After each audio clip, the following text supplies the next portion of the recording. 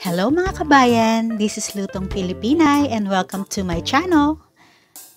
Today, magluluto po tayo ng isang simple gulay recipe, ang petchay con carne.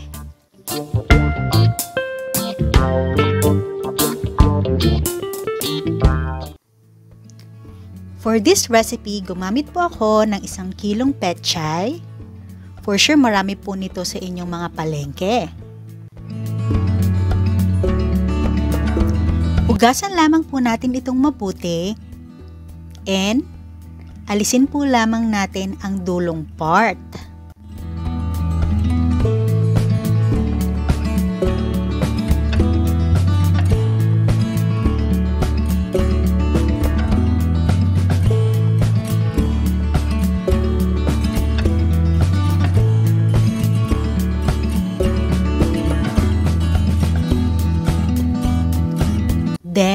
Hihiwain lamang po natin ito kagaya ng ganyan. And ihihiwalay po natin ang tangkay part sa dahon part. Bakit po natin gagawin ito? Makikita nyo po mamaya.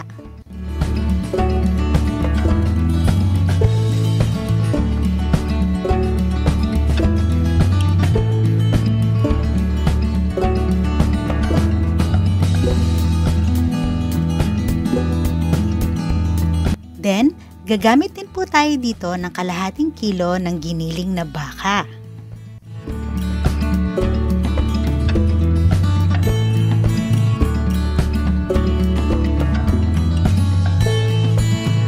Then, sa isang heated pan, maglalagay lamang po tayo ng konting oil and ilalagay na po natin ang ating giniling na baka. Lutuin lamang po natin ito until ito po ay mag-brown.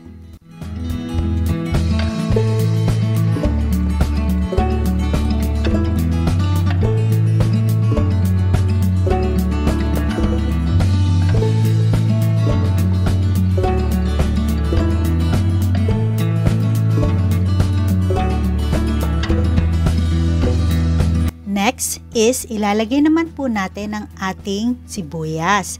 Igigisa lamang po natin ito hanggang ito po ay bumango.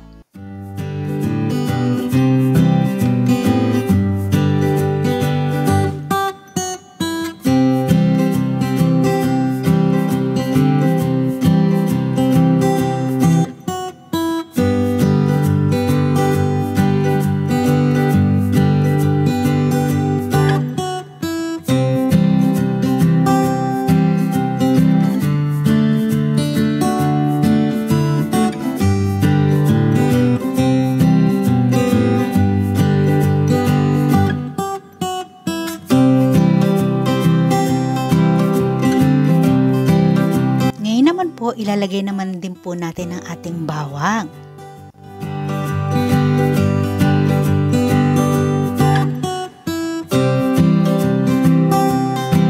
Gisa-gisa lamang po tayo mga kabayan.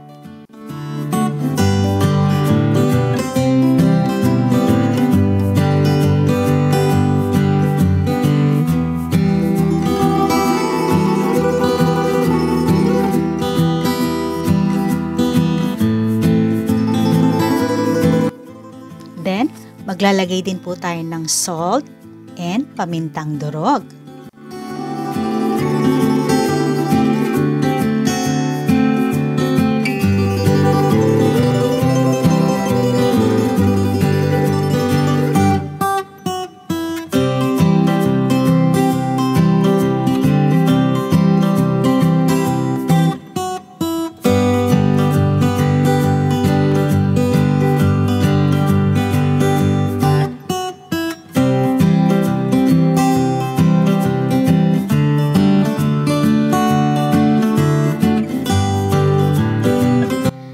This time po, ilalagay na po natin ang tangkay part ng ating pechay.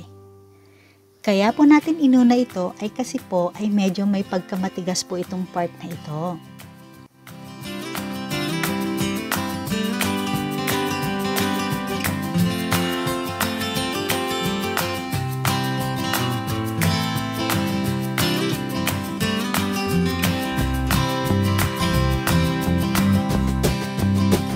Then, the rest of our pechay.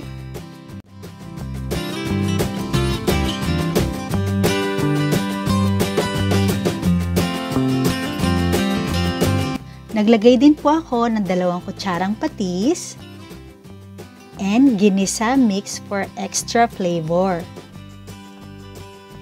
Make sure po na malakas ang apoy natin dito dahil mabilis lamang po natin itong lulutuin.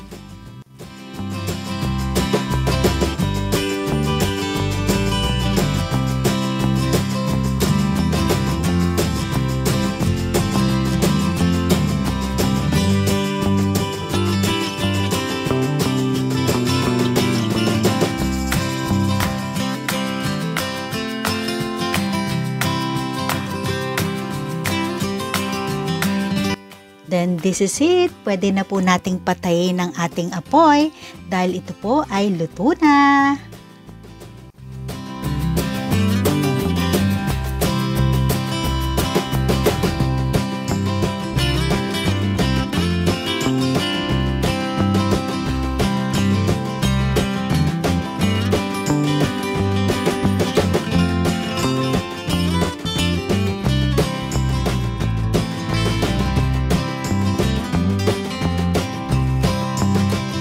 Kung nagustuhan niyo po ang recipe na ito, please don't forget to subscribe. Keep safe everyone and thanks for watching.